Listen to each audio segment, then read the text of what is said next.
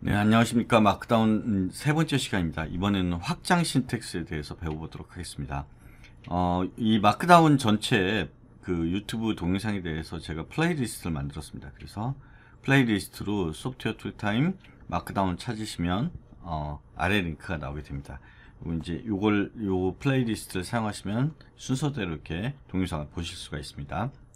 네, 오늘 배울 내용은 이제 markdown Extended Syntax인데요.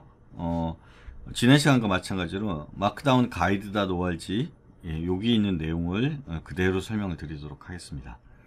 어, 이 설명드리는 내용은 Visual Studio Code나 Atom 에디터에서 어, 그 다음에 Markdown Preview Enhanced라고 하는 모듈을 설치한 상태에서 제가 데모를 보여드릴 겁니다. 네, 그럼 시작하도록 하겠습니다. 네, Markdown Guide 홈페이지에서 여기 보시면 예, Basic Syntax 지난 시간 배운 거고요. Extended Syntax를 눌러 보시면 이제 Extended Syntax가 나옵니다. 보시면 뭐라고 되어 있냐면 설명이 어, Basic Syntax 가지고 써, 쓰다 보니까 기능들이 더 필요해졌다는 겁니다. 그래서 계속 새로운 추가 기능들을 이제 추가를 했대요. 그 기, 추가한 기능 중에는 뭐 테이블, code block, 그 다음에 syntax highlight, 그러니까 코드의 문법에 따라서 뭐 이렇게 색깔을 다르게 보여주는 거죠.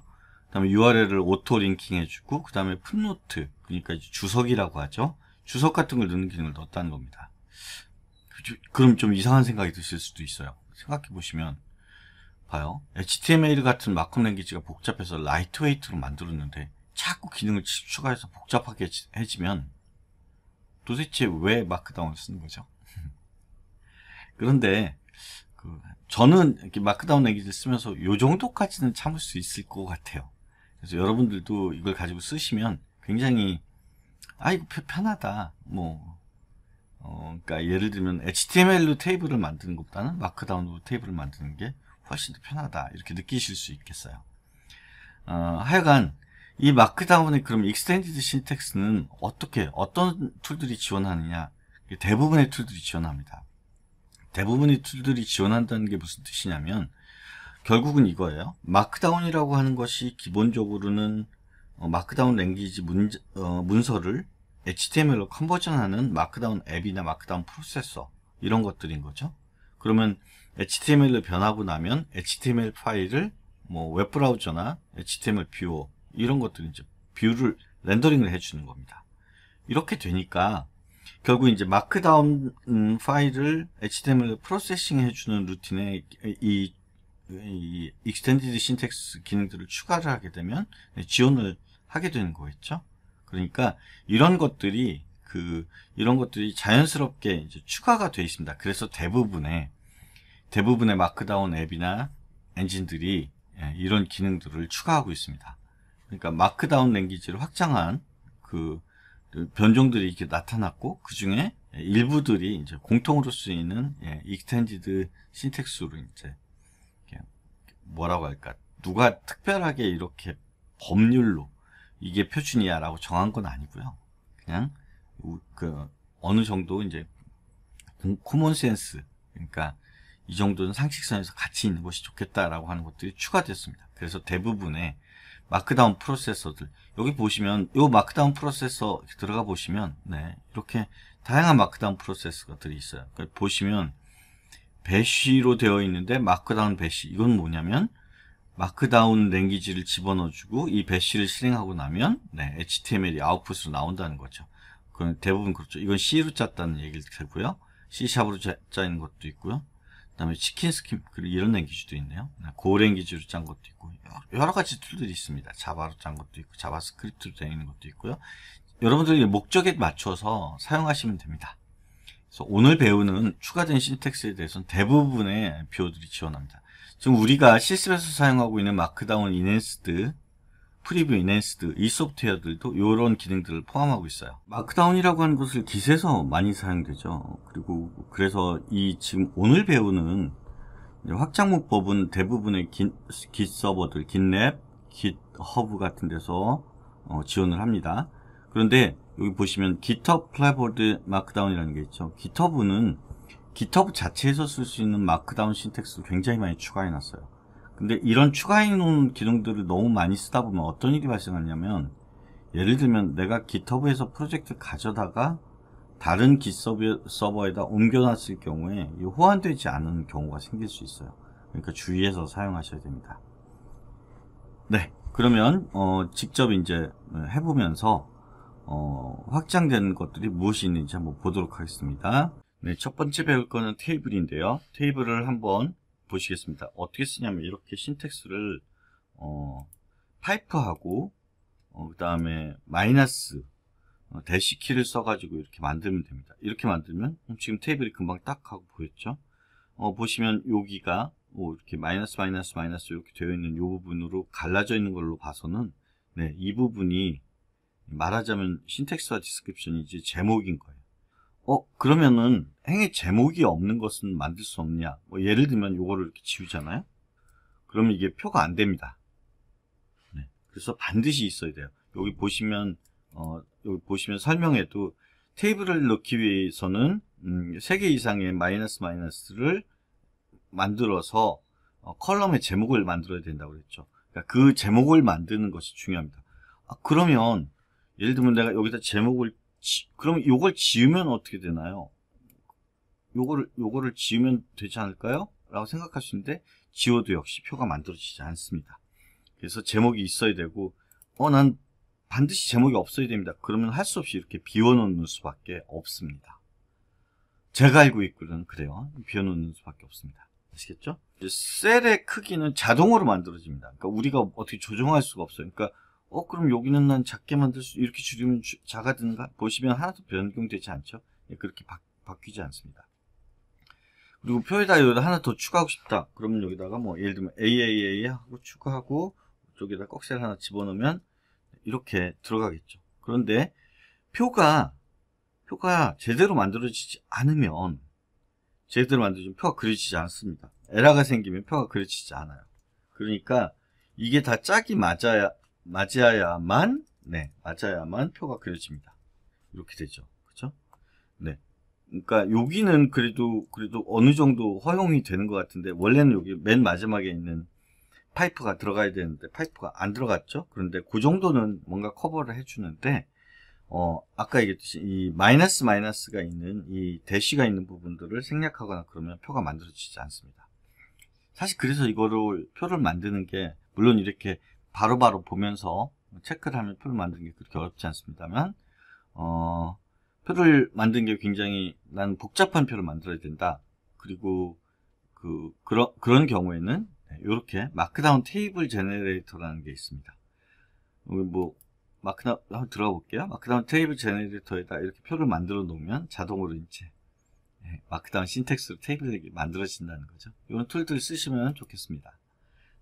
뭐 그렇게 복잡한 표를 만들 일이 있을지 모르겠어요. 어, 경우에 따라서는 예를 들면 숫자라든지 또는 뭐 이런 것들은 alignment 그러니까 좌측 정렬, 우, 중앙 정렬 이런 것들을 해야 되는 경우가 있죠. 그래서 이런 정렬을 하고 싶을 때는 콜론을 씁니다. 그래서 여기서 여기다가 마이너스 마이너스 맨 앞에 왼쪽으로 하면 왼쪽 정렬이 되고요. 그 다음에 어, 양쪽에다 다 넣으면 양쪽에다 다 넣으면 중앙정렬이 됩니다. 그리고 오른쪽에 넣으면 마이너스 마이너스 다음에 오른쪽에 넣으면 오른쪽 정렬이 됩니다. 지금 예를 들면 숫자 같은 경우에 좋겠죠. 2000 뭐 넣고 뭐 여기는 400.00 이렇게 넣으면 이렇게 됩니다. 그런데 이게 우리 워드 프로세서나 이런 좀 복잡한 기능들은 점에다가 이렇게 맞추는 기능들이 있잖아요. 그런 기능들은 없습니다. 아시겠죠? 네, 이렇게 좌우 어, formatting을 할 수 있다는 거고요. 근데 만약에 내가 그 텍스트에 텍스트를 italic이나 bold로 만들고 싶다 할 때는 만드시면 됩니다. 이렇게 해서 만들어 볼게요. 텍스트를 star star 해놓고 이렇게 만들었어요. 이제 위 italic으로 만들어진 거 보이시죠? 바로 이렇게 만들어질 수 있습니다.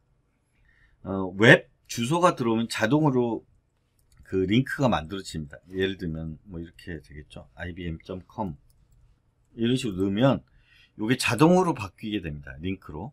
예, 이런 기능들은 사실은 오리지널에 있는 기능이 아니라 extended 기능이에요. extended 기능 이런 것들은 작동을 하지만 코드 블라, 코드도 넣을 수 있습니다. 코드는 이렇게 넣죠. 그리고 음, backquote를 하고 AA 하면 네, 백 코드로 들어가게 됩니다. 그런데 좀 뒤에 배우실 텐데 이제 code block이라고 하는 게 있어요. 근데 code block은 code block은 테이블 안에다 집어넣으실 수가 없습니다. 그 다음에 이제 code block뿐만 아니라 어, 리스트 그 수평선이죠. 수평선, 이미지, 그 다음에 HTML 태그 같은 것들을 그 다음에 제목 이런 것들을 테이블 안에 집어넣을 수는 없습니다. 아, 그럴 것 같죠. 그리고 지금 내가 필요에 따라서는 어, 요 파이프를 텍스트로 써야 한다. 그럴 때는 escape character가 있다고 그랬죠. backslash 한 다음에 파이프를 쓰시면 파이프를 쓰시면 파이프라고 하는 글자 타이틀 옆에 파이프 파이프 보이시죠? 이 파이프 글자들을 표현하고 싶을 때는 escape character를 써서 backslash를 쓰고 쓰면 보인다 하는 겁니다. 그 다음에 이제 다음이 fenced code block인데요. 코드는 여러분 아시다시피 문, 문장 안에서는 문장 안에서는 어떻게 쓰냐면 어, 이렇게 backquote를 넣어서 썼었죠. 그죠? 예를 들면 여기에 얘는 이제 코드입니다. 그죠? 코드. 한글로 써지네요. 코드. 이렇게 하면 이제 코드가 됩니다. 굉장히 길게 어, 코드를 설정해야 될 필요가 있어요. 그러면 어떻게 하냐면 backquote를 3개를 씁니다. 그럼 이후 나타나는 모든 것들은 코드입니다. 라고 하는 거예요. 이렇게 씁니다. 그러면 여기 전체가 code block으로 설정되고 그런 다음에 이것들은 코드가 됩니다. 아니 그러면 이렇게 한 줄로 하고 하나씩 넣고 코드다 라고 선언하면 안 되나요? 네, 안 됩니다. 이렇게 하면 줄바꿈이 풀어지는 거죠. 그러니까 이게 지금 한 줄로 어, 보여지잖아요. 그렇잖아요. 이게 한 줄로 이어지잖아요. 그래서 이때부터는 줄바꿈도 하지 마라 라고 할 땐 backquote를 3개 씁니다. 이렇게 backquote를 3개 쓰면 줄바꿈이 안 일어나는 코드가 이렇게 만들어지는 거죠. code block을 뜻하는 게 아니라 backquote를 3개 쓰고 싶다. 그럴 때는 어떻게 하시면 되겠습니까? 네, backslash 같은 걸 넣으시면 되겠죠. backslash를 넣으면 네, 여기는 이제 backslash를 넣어서 quote 3개가 들어갔으니까 quote 3개가 들어갔고 이제 더 이상 code block이 아닌 거죠. 그쵸? 여기도 이제 끄트머리도 역시 마찬가지로 네, code block이 아니야. 어, backslash를 넣으면 이런 식으로 이렇게 들어가게 되겠죠. 그쵸? 네, 이거는 지난 어, 시간에 배운 네, escape character 이거 생각하시면 쉽게 이해하실 수 있겠습니다. 그 다음에 이제 syntax highlighting인데요. syntax highlighting이란 건 뭐냐면 문법에 따라서 그러니까 이게 이 지금 여기 써놓은 code block이 무슨 language냐에 따라서 색깔을 좀 다르게 만들 수 있는 겁니다. 예를 들면 이게 이 이건 지금 이제 JSON이죠. JSON이니까 JSON이다라고 써주면 이렇게 써집니다. 여기는 회색으로 써주고 어, string은 초록색으로 숫자는 어, 이렇게 음, 보라색으로 써지네요. 어 그러면은 다른 language는 어떻게 하나요? 네. 뭐 예를 들면 언어다. 그러면 이걸 여기다가 C라고 씁니다. C를 쓰면 네, C 언어처럼 이렇게 나타나요. 예를 들면 이게 메인 함수다. 뭐 이렇게 되겠죠? 이러면 이제 함수들이 거기에 맞춰서 이렇게 색깔을 갖게 됩니다.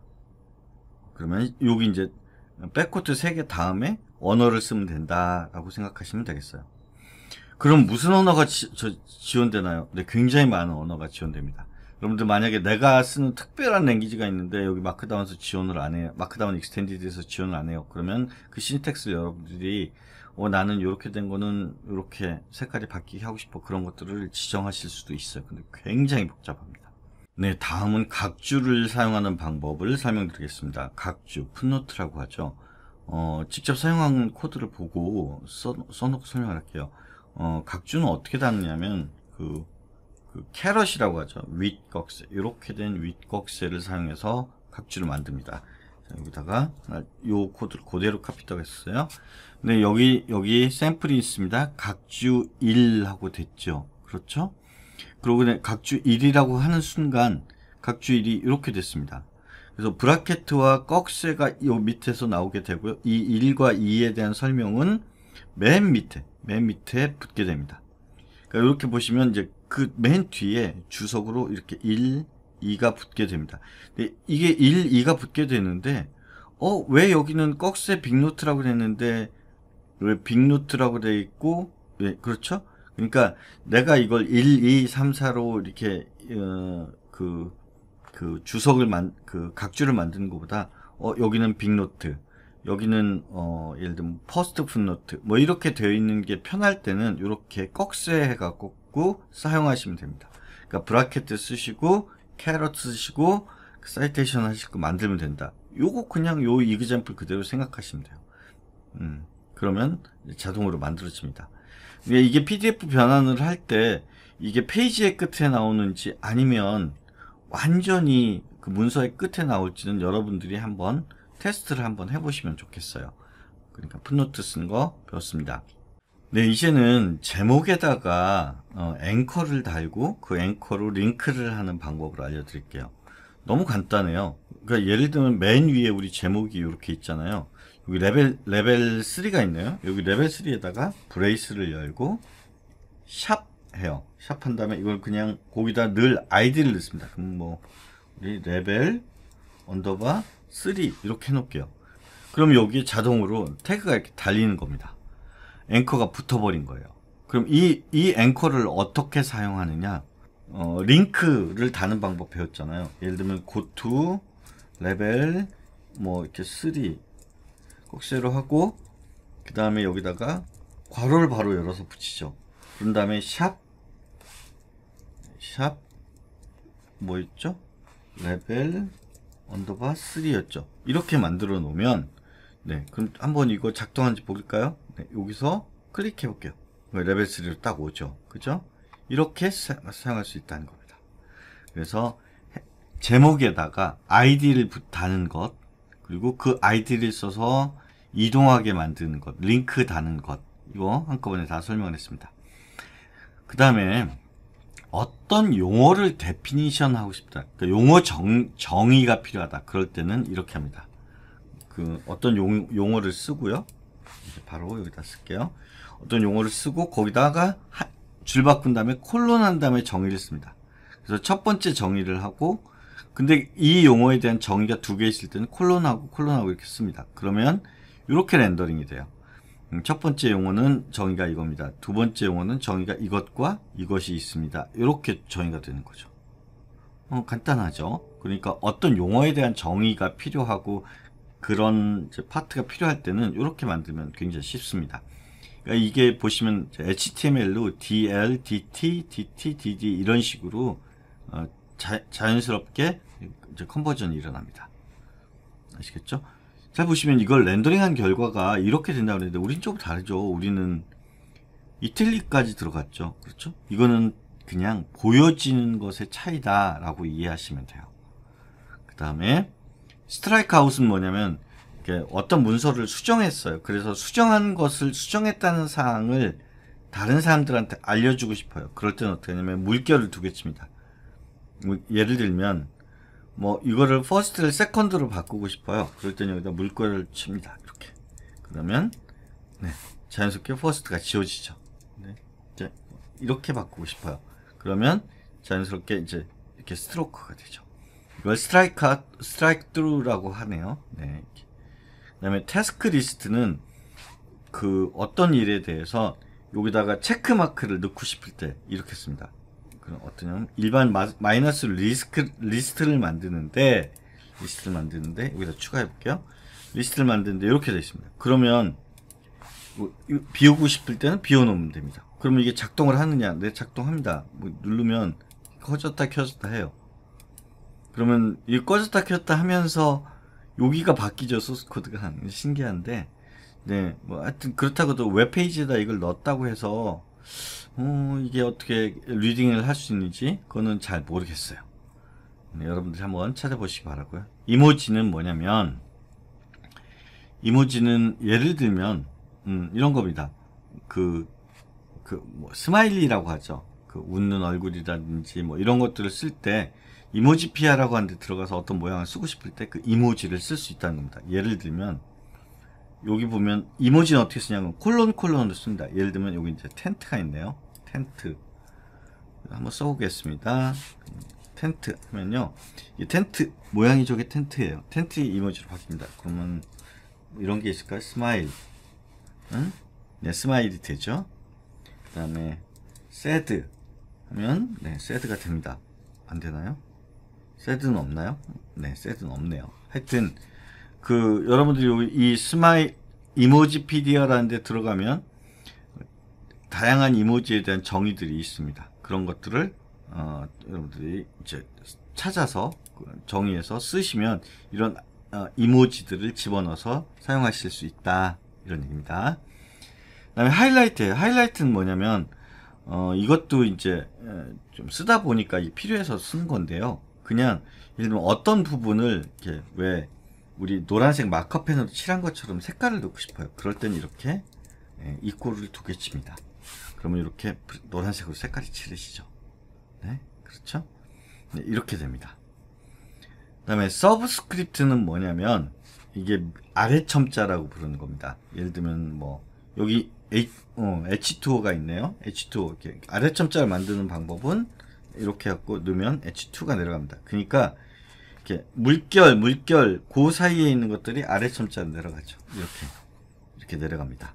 물결과 물결 사이에 있는 것, 틸다와 틸다 사이에 있는 것이 아래 첨자로 넘어간다는 거고요. 그럼 위 첨자는 어떻게 하냐? 네, 이렇게 위 꺽쇠, 캐럿이라고 부르는 거죠. 꺽쇠로 올리면 네, 위로 올라가게 됩니다. 이렇게. 어, 그러면 여러분들 그런 거 질문하실 분도 있어요. 그러면 수식 복잡한 수식 뭐 어, 뭐 메스 뭐 인티그랄도 있고 뭐 미분도 있고 그런 것들은 어떻게 하시, 합니까?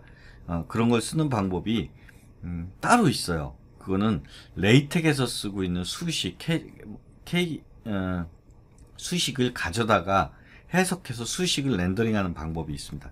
사실 그것도 HTML에서 쓰는 방법인데 HTML에서 쓴 수식을 표현하는 방법으로 conversion을 시켜주는 방법이 있는데 그건 여러분들이 따로 찾아보도록 하시기 바래요.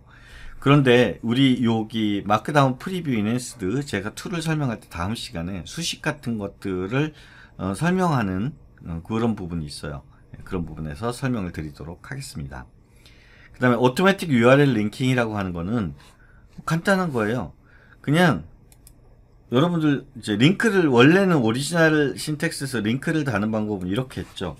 네, 이렇게 했죠. 이렇게 여기다 뭘 넣고 여기다가 링크를 넣었었죠. 뭐 예를 들면 뭐 딱 http http 따따따 그다음에 따따따 점 아주 점 ac 점 kr 하면 이렇게 링크 아주대학교 링크가 붙습니다. 그렇죠? 이걸 누르면 아주대학교 홈페이지로 가는 거죠. 그런데 이렇게 하는 게 아니라 그냥 제가 그냥 이 홈, 요거를 그냥 카피 떠서 여기다 넣어볼게요. 그러면 이건 누가 봐도 URL이잖아요. 그러면 그냥 URL 링크가 만들어지는 겁니다. 자동으로 URL 링크를 만들어주는 것, 오토매틱 URL 링킹인데 이 기능은 그 basic syntax가 아니라 extended syntax에 들어있다라는 거 알고 계시면 되겠어요. 그러면 어 이거 나는 링크가 작동하지 않고 그냥 그냥 쓰고 싶어. 그럴 땐 어떻게 하시면 되겠어요? 네. 코드로 만들어 버리시면 됩니다. 네, 코드로 만드는 순간 이게 코드가 되지 네, 이게 자, 링크가 작동하지 않습니다. 알겠죠? 네, 그러면 extended 어, syntax에 대한 설명이 다 끝났습니다. 다음 시간에는 좀 더 복잡한 기능으로 이런 tool들과 함께 음, 어떤 더 복잡한 기능들을 쓸 수 있는지를 설명해 드리도록 하겠습니다. 예를 들면 맨 앞에 부분에 목차를 만든다든가 또는 수식을 집어넣는다든가 이런 부분들을 이제 따로 설명드리도록 하겠습니다.